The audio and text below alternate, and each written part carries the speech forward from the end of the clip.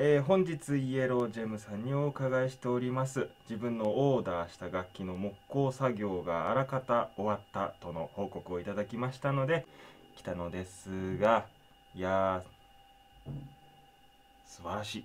ヘッドネックあとピックアップカバーランプそしてこちらボディですね。もう大きくは終わったそうです。これができてからの微調整みたいなお話し合いをさせてもらおうと思ってますで今日よろしくお願いしますよろしくお願いします。あ今これはどういう状態ぐらいまで進んだんでしょうか？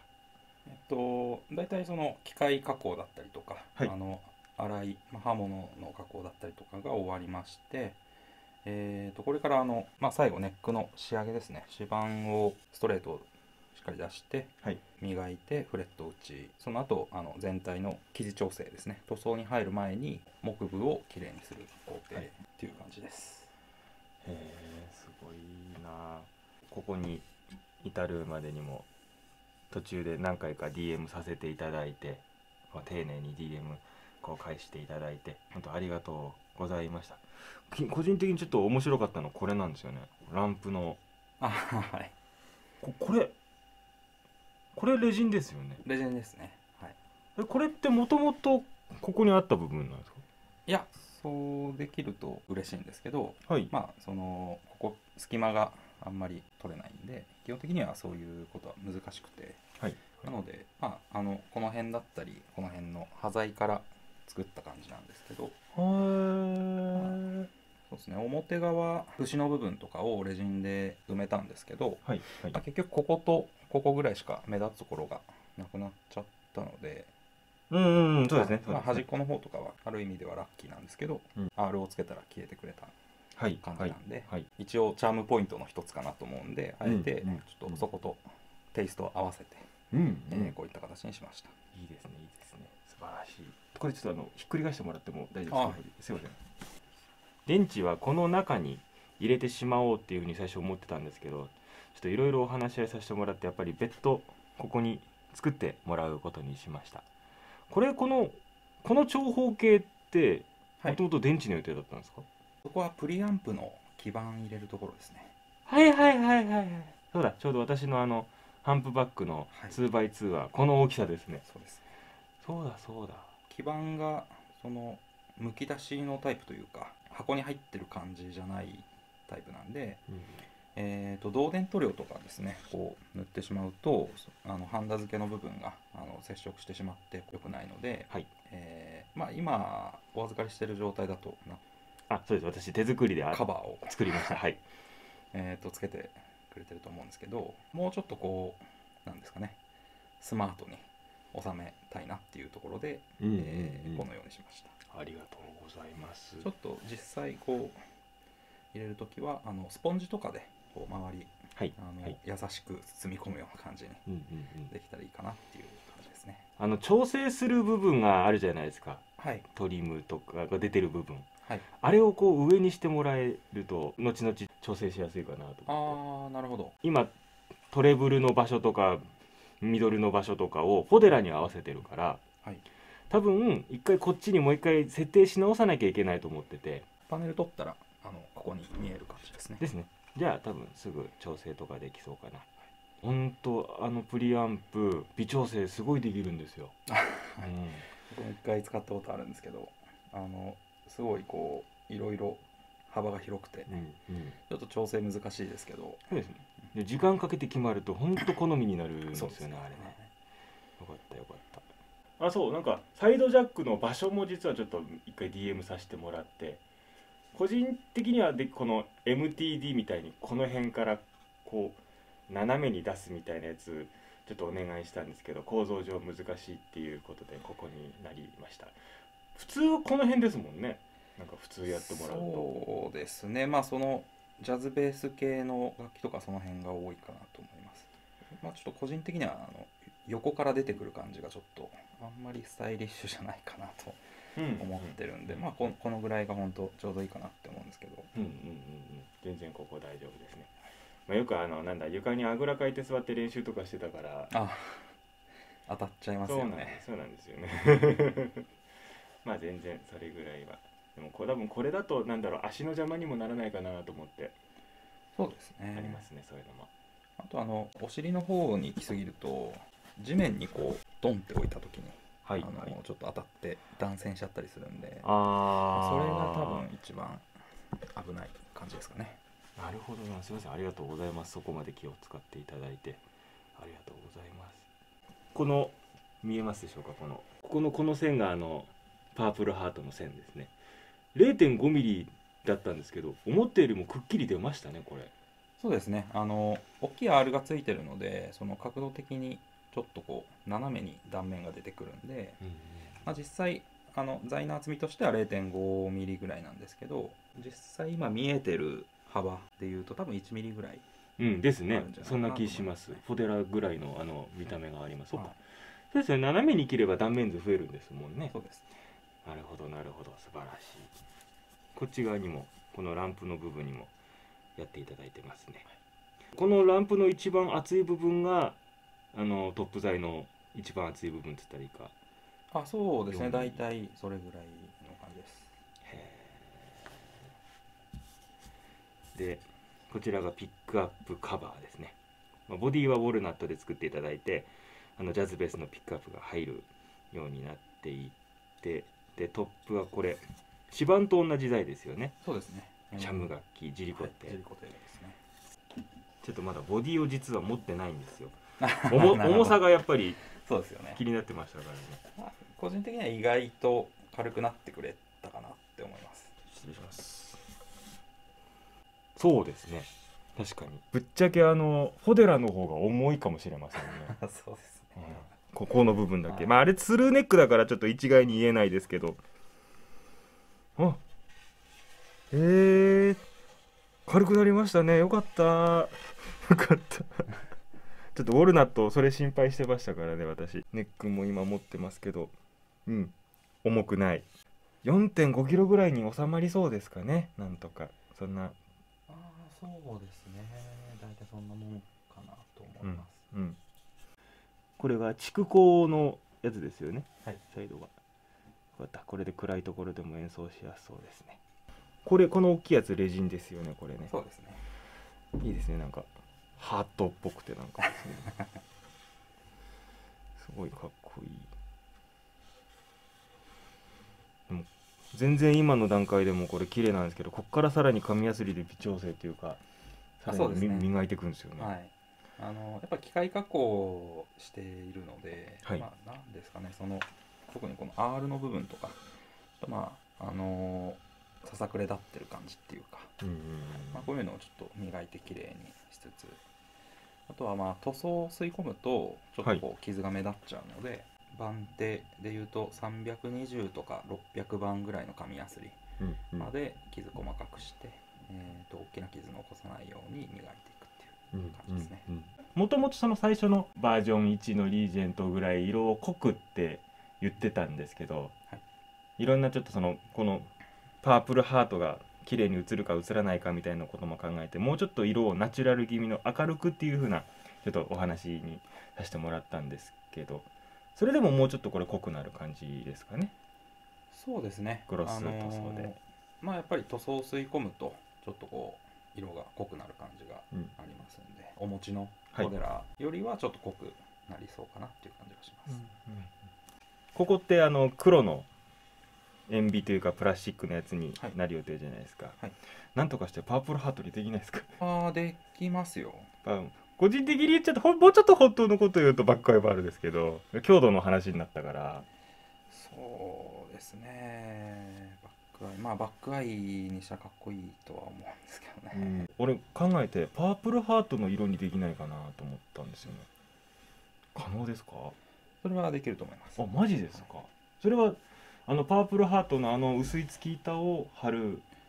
そうですね。何か、えーそうですね。塩ビの板を買ってきて、そこに貼る感じになりますかね。パープルハート色のプラスチックのがあるというよりはああの月板を、を使う。はい、表面に貼る感じですね。できます？大丈夫だと思います。マジっすか？あここはパープルハート色にお願いします。ありがとうございます。う一回ひっくり返します。そうさっきちょっとおっしゃってくれたんですけどこれ入れてみても大丈夫ですか？あじゃあちょっと入れてみますか。はいありがとうございます。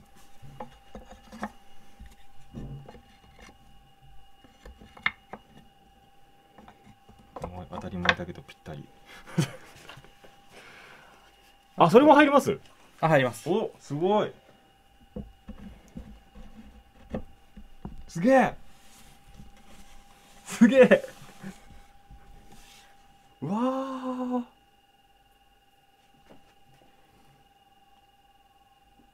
これにえっ、と金属パーツがゴールドがくっつくんですよね。はい。すげえ。ありがとうございます。もうこんなに美しいやつ作っていただいちゃって。でさっきちょっとそのお話伺ったのがネックの裏ですか？塗装ああそうですね。えっとグリップの部分。フェンダーとかだとそこもこうツヤありの仕様のものが基そうですね。本だと思うんですけど、はいはいそうですね。はい。その引き心地的にこうちょっとキュキュッと引っかかる感じはあるので一概には言えないんですけど艶消しの方が好きっていう人が多いかなと思います。本音を言っちゃったらもうあのもうヴィンテージのジャズベース？サラサラになったらかか。あれが一番好きですけど。ああただあれはねもう長い年月をかけてああなってるわけですからね。そうですね。ファーストのリージェントってどんなんでしたっけ？ファーストは全部艶ありですね。後ろも艶ありはい。グリップもしっかり艶出してます。はいはい。ウレタン塗装ですね。はいはい。もう細かいことですけど音質にはそんなに影響がないものなんですか？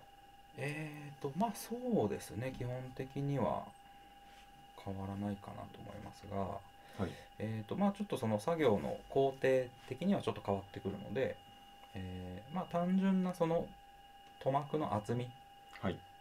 が、えーちょっと変わってくるのでそこはまあ影響があるといえばあるんですがまあ耳で聞いてわかるほどではないかなと思います。まあぶっちゃけ個人的には弾きやすさですね。やっぱり弾きやすい方、はいまあネックだけの話なんでうん。えっとまあ、ボディとかになるとその塗膜の厚み違うとちょっと音も変わってくるかなと思うんですけどグリップ部分だけだったらまあそんな変わんないかなとは思います。うん。弾きやすい方サラサラしてる方が個人的には弾きやすいですね。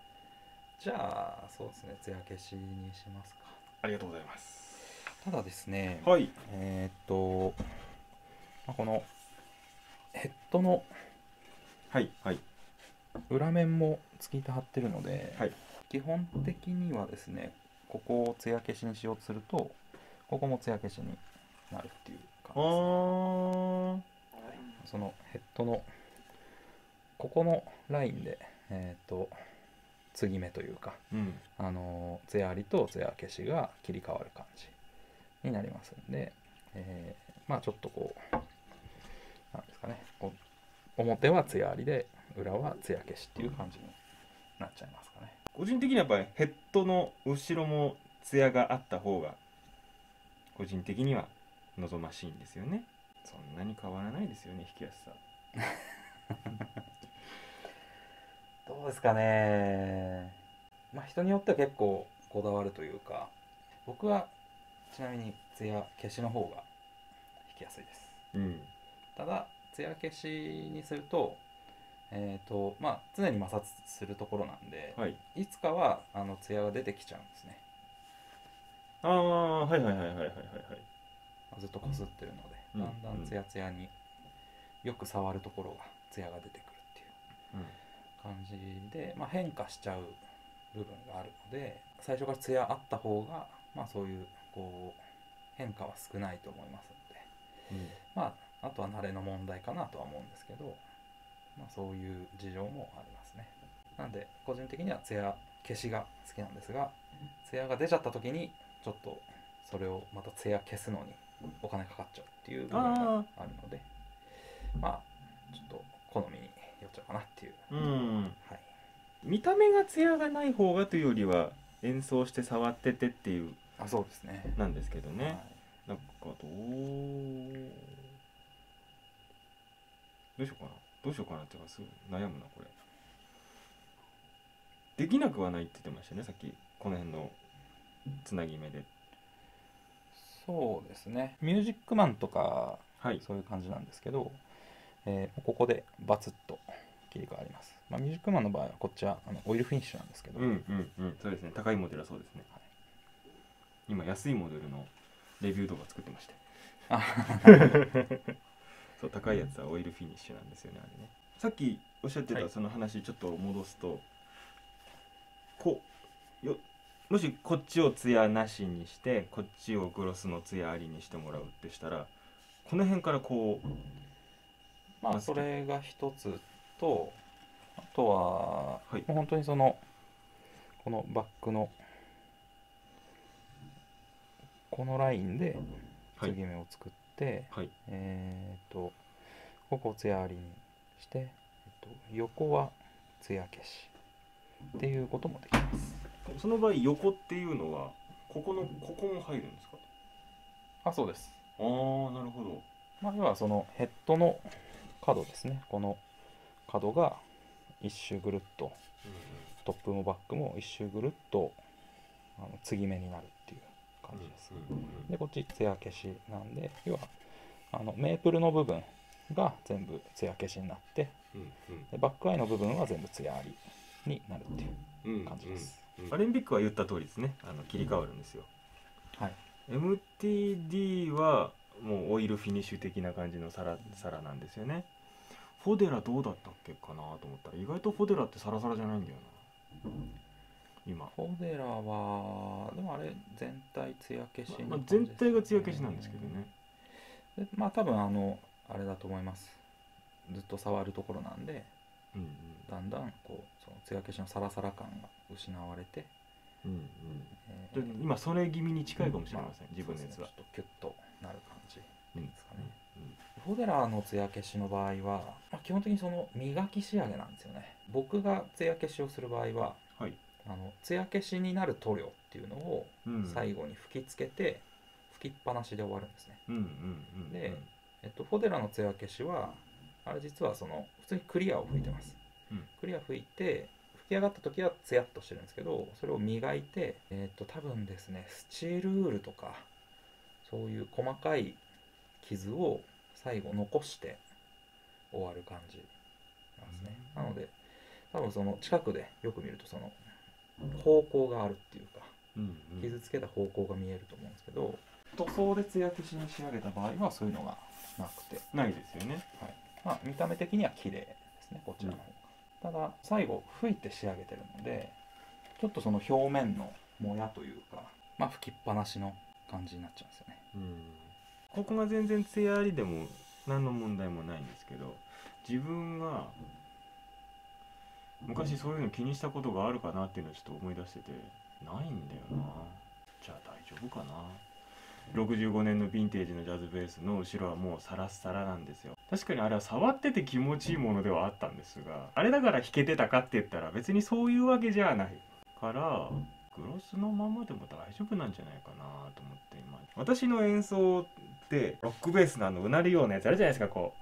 分かりやすく言うとあのラルク・アンシエルのああのこうウィーンっていうような。横の移動が多いタイプです、ね、私あれあんまできないんですよね。あ実は。だからやってないんですよ。はい。自然に弾くと。そう考えたらそこを気にしてないなっていうのを今若干思って。うん大丈夫です。全面グロスで。あわかりました。ちょっとしましすいませんいろいろとた。あいえいええ。っとまあグロスでじゃあとりあえず一旦仕上げるって感じにしてはい。そのまあ後で艶消しにするのは実はそんなに難しくないあので。さっき言ってたあのフォデラのやり方。はあそうですね。いはいはいはい。であったりとかまああと吹くのもあの吹きつけるのもまあそんなに大事ではないので、うん。はい、艶消しの場合はもう本当にあの一回磨いてマスキングして、えー、綺麗に一発吹いたら終わりなので、うんうんうん。まあ、そんなに大事ではないですなるほど。じゃあすいません。多分多分大丈夫だと思います。あの1回目のリージェントのあの感じ。はい。後ろにもツヤがあるっていう、わかりました。はい、それでお願いします。承知しました。はいありがとうございます。あともうないか。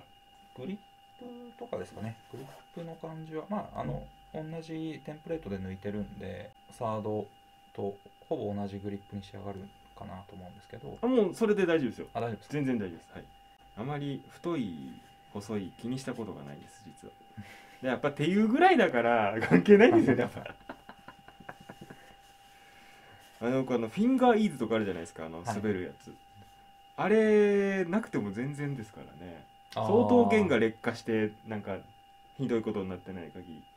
ほぼ関係なく弾けてるから何の問題もないですありがとうございます。いやー素晴らしい。じゃああと今日がえっと11月の今日4日ですよね。はい。えっとあと目標は、まあ、今年中は大丈夫そうですけど、まあ、塗装がやっぱり乾燥っていうのがありますもんね。どそうですね。えっと、まあ、11月中には上げたいなと思ってるんですけどはい。リペアの混雑具合にもよっちゃうんですが、うんね大体あと1ヶ月ぐらいお時間いただければ。もう全然全然大丈夫です。ありがとう。逆にもうあの急いでやっていいことないですから。世の中って。丁寧にやった方がいいろん何でもそうですよ本当に。ありがとうございます。じゃああと1ヶ月ぐらいで完成だそうです。楽しみにしてます。とありがとうございますじゃあそんな感じで今日の動画もよろしくお願いします。役に立つベースのことチャンネル高評価とかコメントとかいろいろとお待ちしております。よろしくお願いします。今日も EL ジャムさんありがとうございました。あこちらこそ。ありがとうございます。またよろしくお願いします